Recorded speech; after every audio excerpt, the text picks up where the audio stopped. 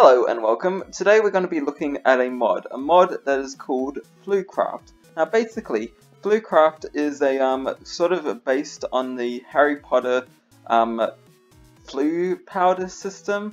If you know what that is, basically it is you got fireplaces and all the fireplaces are connected up and you can use this powder called Floo powder to turn the fire green and then you can walk through it. So basically that's what you do. It's like a um, alternative for the warp stone mod.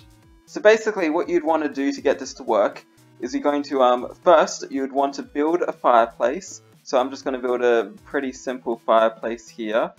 As you can see it's just a enclosed area and then you want to put fire on it. Very simple. Then you want to use Floo powder. Now there's multiple types of Floo powder, well not types but strengths. And basically the more stronger the Floo powder is, the more times it will work. But the one I'm using right now is um, creative mode Floo powder, so it will work indefinitely. So basically, you want to light a fire, use the Floo powder, and then that's lit. And now this fire will work as it's meant to, but if you want to set it as a point that you can teleport to um, indefinitely, what you want to do is use this thing here called a Floo sign.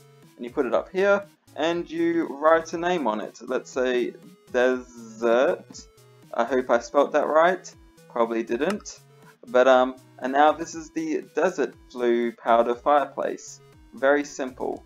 So basically you want to walk through it and I've already set up quite a few different places but um, let's go to the uh, mount. Go. And as you can see you teleport into it and now you're at the mountain. That's, that's what I named it after, mountain. Now of course the fireplaces can come in a variety of different sizes and other stuff. For example, if I go into here and go to the birch one, this one is a sort of a bigger one.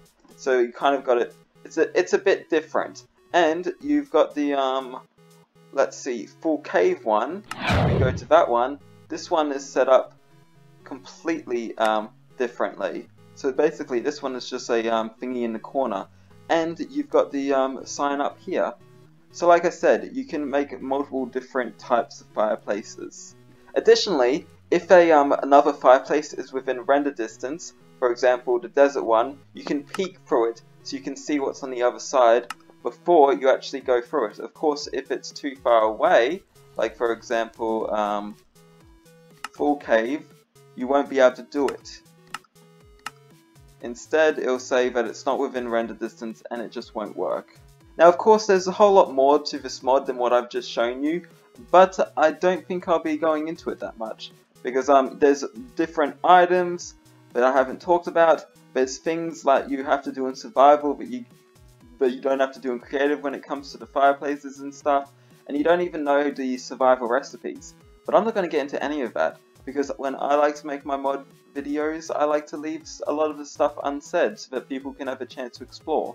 Or at least that's the excuse for me being lazy and not looking it up. As always, if you want to download the mod, there's a link down and below in the description. So if you want to check it out, do check it out. And if you want to um, leave a comment, leave a nice word or even a harsh word, feel free to do so.